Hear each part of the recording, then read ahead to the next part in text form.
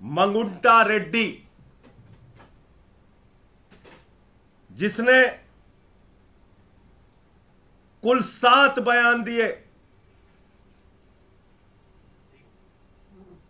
कुल तीन बयान दिए। उसके बेटे राघव मंगुंटा ने सात बयान दिए। बाप बेटे ने मिला के दस बयान दिए।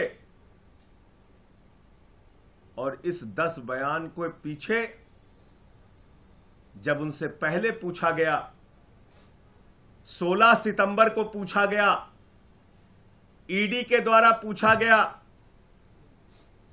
कि क्या आप अरविंद केजरीवाल से मिले थे जानते हैं तो उसने उसी बात की सच्चाई को उजागर किया। जो बात सच थी, उसने कहा हाँ, मैं मिला था, लेकिन चैरिटेबल ट्रस्ट की ज़मीन के मामले में मिला था। लेकिन उसके बाद उसके बेटे को राघव मंगुंटा को गिरफ़्तार किया जाता है।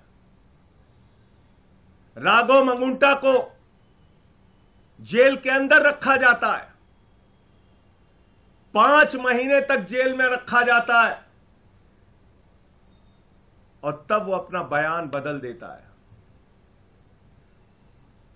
16 सितंबर पर पहली बार कार्रवाई होती है मंगुंटा रेड्डी सांसद पर। रेड होती है 16 सितंबर 2022 को और 10 फरवरी तक लगातार उसको कहा जाता है, बयान दो बयान दो बयान दो केजरीवाल के खिलाफ। वो बयान नहीं देता तो 10 फरवरी को उसके बेटे राघव मंगुंटा को गिरफ़्तार कर लिया जाता है। और 10 फरवरी से लेकर 16 जुलाई तक सात बयान लिए जाते हैं।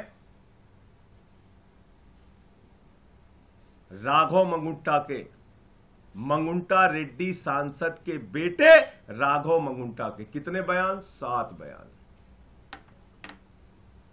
तीन बयान बाप का, सात बयान बेटे का।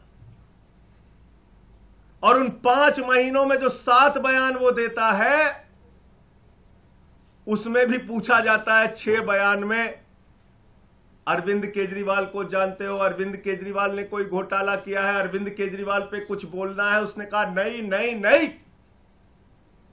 बिल्कुल नहीं। लेकिन पाँच महीने की जेल के बाद वो टूट जाता है। और सातवां बयान 16 जुलाई को उसका होता है और वो बदल जाता है। वो वही साजिश का हिस्सा बन जाता है।